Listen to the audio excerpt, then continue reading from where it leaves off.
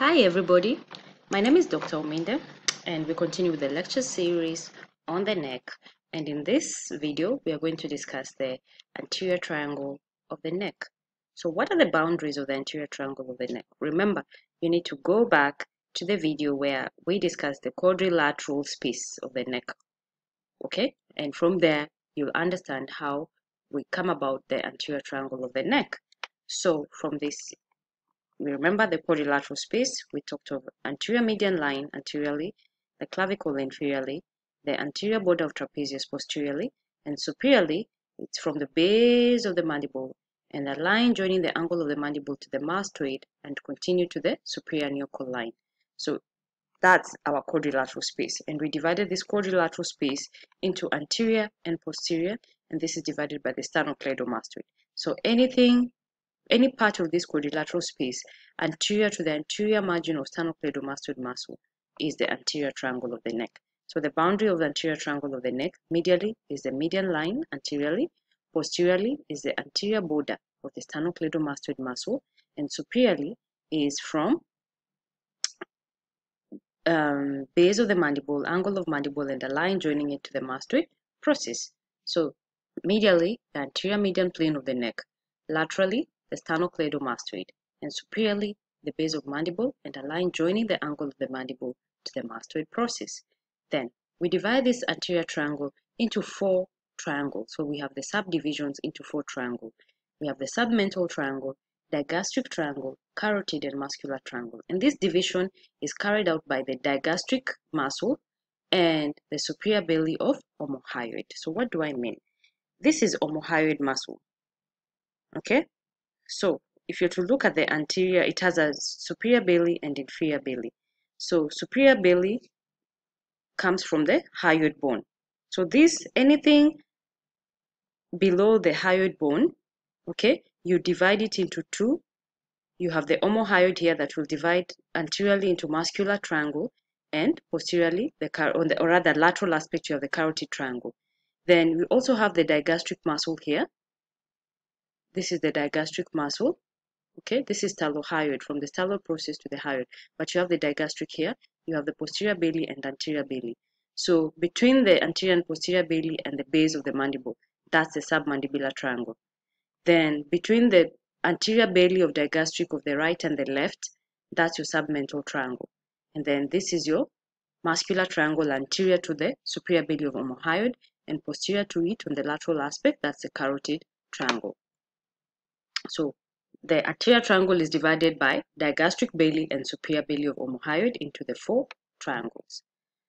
So again, if you're to look from the anterior aspect, this is the anterior median line dividing into right and left and you have your quadrilateral spaces. So if you're to look from the anterior, between the two anterior bellies of uh anterior digastric muscles, you have digastric on the right and digastric on the left. So between the two anterior bellies, that's your submental triangle. Then between anterior and posterior belly, that's your submandibular triangle. Between anterior and posterior belly, that's your submandibular triangle on the other side. Then the midline is here, but you have omohyoid, superior belly of omohyoid that will divide this anterior triangle into the muscular portion and the carotid triangle. Remember, anterior triangle is from the midline then anterior border of sternocleidomastoid as you go superiorly. So you have your submental, submandibular, carotid, and muscular triangle. Remember there's a midline here. Then this just shows you a triangle between anterior and posterior belly of digastric. So all this here is a submandibular triangle. And then between anterior belly of digastric on one side and the other, so this space here will be your um, submental triangle. But this image is just here to show you suprahyoid muscles. These are muscles located above the hyoid bone, such as stylohyoid from the styloid process to the hyoid. Then you have digastric muscle with anterior and posterior belly. Then you have the geniohyoid muscle from the genio of the mandible to the hyoid bone. And you also have mylohyoid muscle from myloid line of the mandible to the median raphe. So those are the suprahyoid muscles. Suprahyoid muscles um, are found on the anterior aspects of the neck. Okay, so digastric has two bellies, anterior belly and posterior belly, and digastric muscles are innervated by anterior belly by nerve to mylohyoid and posterior belly innervated by facial nerve. Why? Because anterior belly comes from first pharyngeal arc, which is innervated by mandibular division of trigeminal, and the posterior belly is, comes from the second pharyngeal arch, and facial nerve is, is the nerve of the uh, um, derivatives of second arc. Then we have stylohyoid from styloid process to the hyoid bone is innervated by facial nerve, mylohyoid from mylohyoid line of mandible to the hyoid bone innervated by nerve to mylohyoid, this is from mandibular, and then geniohyoid from the genu or rather the mental spine of the mandible to the hyoid bone innervated by C1, first cervical nerve that hitchhikes onto the hypoglossal nerve to get to the um, the muscle. So those four are the suprahyoid muscles. You can be asked to write an essay on the suprahyoid muscles. So we now go to the submental triangle. Subment what are the boundaries of the submental triangle? This is your submental triangle here. So on both sides, you have anterior belly of the right and left digastric. Then the base is by the body of hyoid bone. The apex is formed by the chin. This is the chin. So the apex is at the chin. The base is the body of hyoid. And the sides, you have the anterior belly of the digastric muscles. The floor is formed by mylohyoid muscle here. This is mylohyoid. What are the contents of this submental triangle? You have submental lymph nodes and small veins that usually unite to form the anterior jugular vein submental lymph nodes, and small veins that unite to form the anterior jugular vein. Before I forget, you will be asked to write an essay on the hyoid bone, or in your viva, you should be able to identify hyoid bone, name the parts, explain the different embryonic origins of the different parts. So, as you do your revision, get a page in your notebook and write an essay on the on the hyoid bone. Okay. Then we go to the submandibular triangle. Submandibular triangle, what are the boundaries? So if you look here, this, this is your submandibular triangle from the inferior margin of the mandible here, posterior belly of digastric and anterior belly of digastric on one side. So the boundaries are formed by anterior and posterior belly of digastric muscle and the lower border of the body of the mandible. There's something you're supposed to pick from this table that discusses the digastric muscles. The insertion of these digastric muscles is on an intermediate tendon that is held by a pulley to the hyoid bone.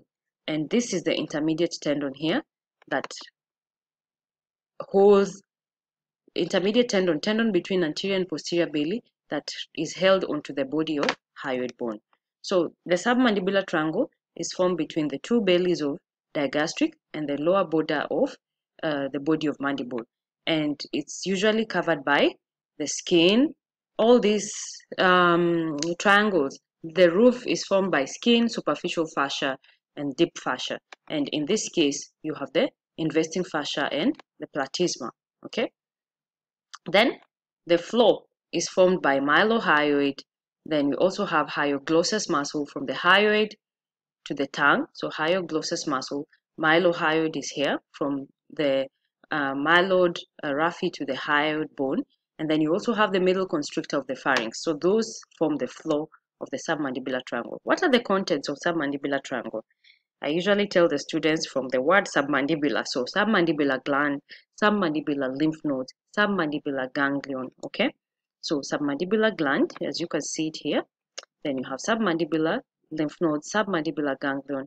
There is facial artery and vein, hypoglossal nerve, lingual neurovascular structures. Okay, so those are the contents of the submandibular triangle. Submandibular gland, submandibular lymph node, submandibular ganglion, facial artery and vein, hypoglossal nerve, which is the 12th cranial nerve. Then you have the lingual artery, vein, and nerve. So remember, lingual and facial artery come from external carotid artery. Then we go to the carotid triangle. What are the boundaries? This is the carotid triangle. So Anterosuperiorly is the posterior belly of digastric. Anteroinferiorly is the superior belly of omohyoid. And posteriorly is the anterior border of sternocleidomastoid muscle. So those are the boundaries of the carotid triangle. The roof, like any other triangle, is formed by skin, superficial fascia, and deep fascia. And in this case, it's the investing fascia. The floor is formed by thyrohyoid muscle, hyoglossus, the middle and inferior constrictors of the pharynx, thyrohyoid from thyroid cartilage to hyoid bone, hyoglossus from hyoid bone to the tongue. Then you also have the middle and inferior constrictors of the pharynx. What are the contents of the carotid triangle? So we have the main contents. Um, you remember there's the carotid sheath, and we said the contents of the carotid sheath are the common carotid artery and its branches, external and internal carotid, and their associated sympathetic plexus. Then we also have internal jugular vein and vagus nerve. So you can uh, name them like that, or you can divide the contents. For example, you start with the arteries. You have common carotid artery with the branches, internal carotid and external carotid. And remember, the um, at the bifurcation of common carotid, there is a carotid sinus and a carotid body, and these help to uh, they, are, they serve as chemoreceptors and baroreceptor. Carotid sinus is baroreceptor and carotid body is a chemoreceptor. So you have internal carotid and external carotid and the branches of external carotid are actually given off, some are given off within the carotid triangle. So what are the anterior branches of external carotid? You have superior thyroid artery, lingual artery and facial artery. Superior thyroid that goes to the thyroid gland, lingual artery going to the tongue, and facial artery that will go to the face. Those are branches of external carotid that are going anteriorly. Then we have branches that from we leave external carotid and go posteriorly. So we have occipital artery and posterior auricular going behind the ear. Occipital artery going towards the occipital bone. Then medial branches, they will go medially. So like ascending pharyngeal that will go to supply the pharynx. Then the terminal branches of external carotid are superficial temporal and maxillary artery. Okay. So this just shows you common carotid artery within the carotid triangle. Then it bifurcates. Internal carotid is posteriorly. It will enter the cranium through carotid canal. And this is the external carotid. So external carotid has anterior branches. This is superior thyroid to the thyroid gland. This is your um, lingual. And then there's facial. Those are anterior branches. Then medially, that will pierce. That will be your ascending pharyngeal. That goes to the pharynx. And then posteriorly, we talked of occipital that will go to the occipital region and posterior auricular behind the ear. And the terminal branches of external carotid, we talked of superficial temporal and maxillary artery. Again, anterior branches, superior thyroid to thyroid, lingual to the tongue, facial towards the face. Then um, posterior branches, you have occipital and posterior auricular. Medial branch, you have ascending pharyngeal, and external carotid terminates as superficial temporal to the scalp and maxillary artery. So before I forget, for all these arteries, you can be asked to write an essay about them.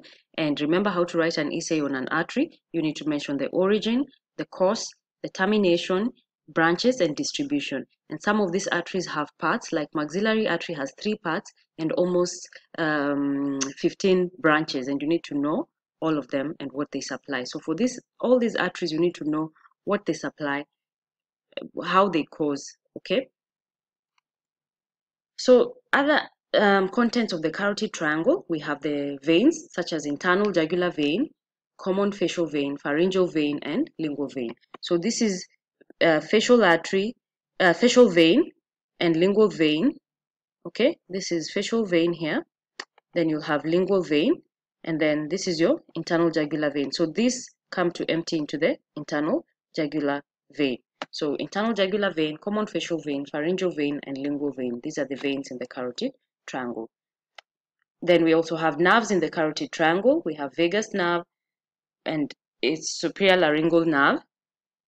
Remember, superior laryngeal divides into internal and external laryngeal.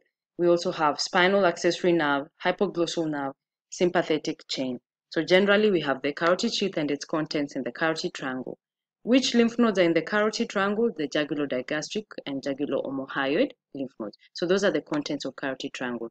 Arteries, veins, nerves, lymph nodes. Okay? So this just shows you the accessory, spinal accessory, internal carotid, internal jugular. Okay? You have your internal jugular here. So those are the contents, common carotid, external carotid, internal carotid going intracranially through the carotid canal. Okay, so here you're able to appreciate the hypoglossal nerve, and this shows you the accessory nerve coming to innervate the